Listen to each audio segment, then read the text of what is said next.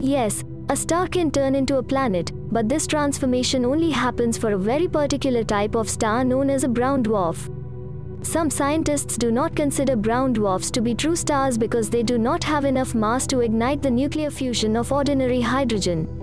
At the same time, some scientists do not consider brown dwarfs to be true planets either because they typically sit at the center of a solar system, just like a star. A brown dwarf is a strange object with a mass that is greater than the biggest regular planets above 13 times the mass of Jupiter, and less than the smallest regular that is stars below 80 times the mass of Jupiter. Although a brown dwarf does not have enough inward gravitational pressure to ignite the nuclear fusion of regular hydrogen, it does have enough to ignite the nuclear fusion of heavy hydrogen, deuterium. Early in the life of a brown dwarf, the nuclear fusion of its heavy hydrogen releases large amounts of light and heat.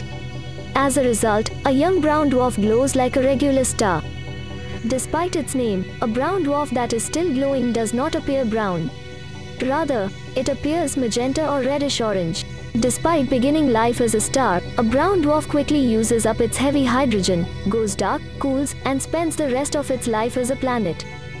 An atom of heavy hydrogen is just like an atom of regular hydrogen except that it has a neutron in its nucleus in addition to its proton.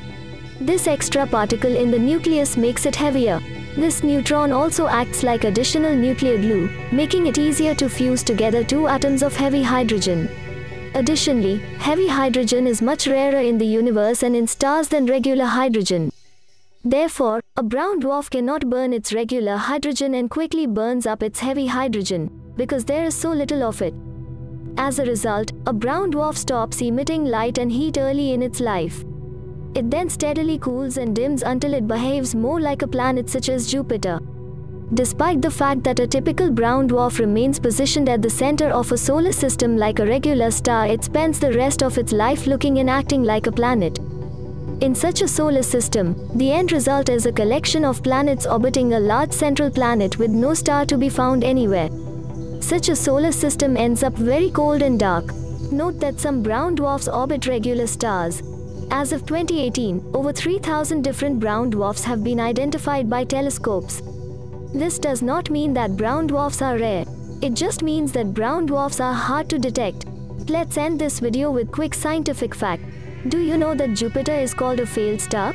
Let's know why. Jupiter is called a failed star because it is made of the same elements, hydrogen and helium, as is the Sun. But it is not massive enough to have the internal pressure and temperature necessary to cause hydrogen to fuse to helium, the energy source that powers the Sun and most other stars. Jupiter would need to be 80 times as massive as it is to turn into a small red dwarf star.